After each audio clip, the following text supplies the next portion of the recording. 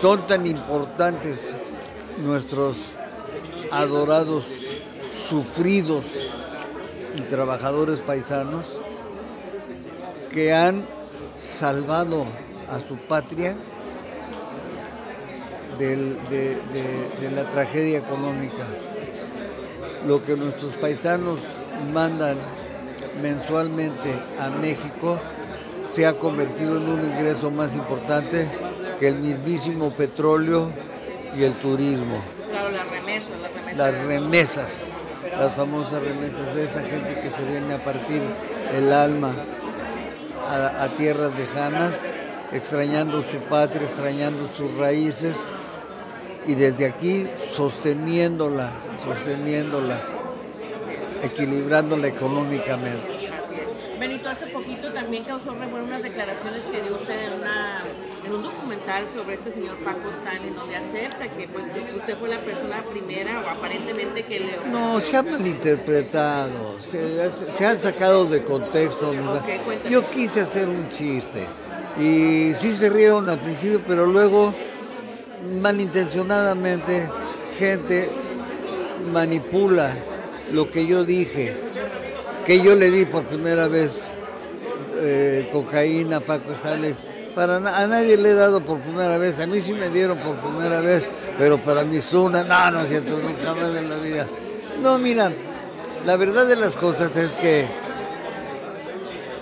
eh, yo, yo conocí a Paco cuando ya era una superfigura y este y los dos cada quien por su lado éramos ya viejas eh, chuchas cuereras en esto en esto otro y lo demás allá.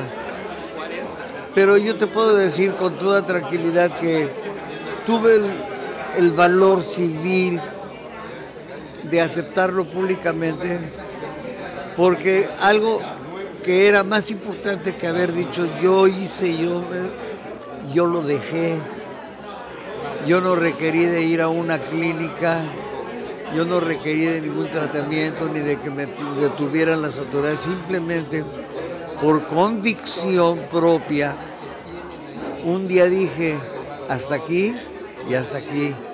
Y aquí donde me ves, yo tengo lo que Paco tiene de muerto, más de lo que Paco tiene de muerto, de no tomarme un trago de alcohol, ¿ok? De no usar drogas.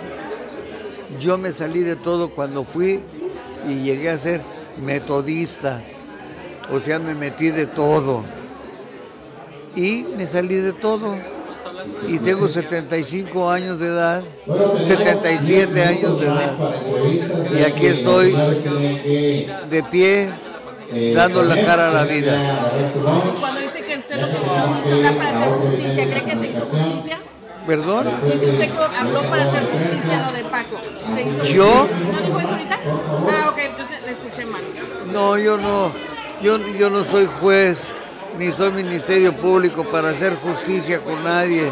Cada quien con su propia actitud en la vida se tiene que hacer justicia.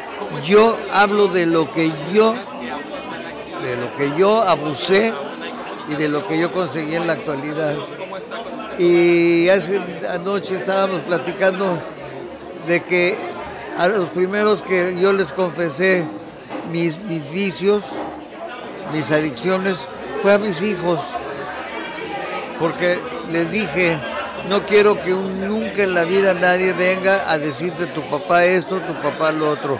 Tu papá yo te lo digo de frente, mirándote a los ojos, bueno, con las dificultades que tengo, esto, esto y esto. En una sola cosa soy perfecto, hijo, en amarte. En amarte nadie me gana. Yo soy perfecto en eso y te lo he demostrado con hechos, no con palabras, sí, papá. ¿Ok?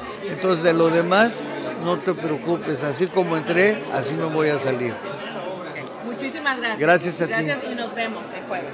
Bueno, ya Órale. mañana. gracias. El que sigue que se venga para acá.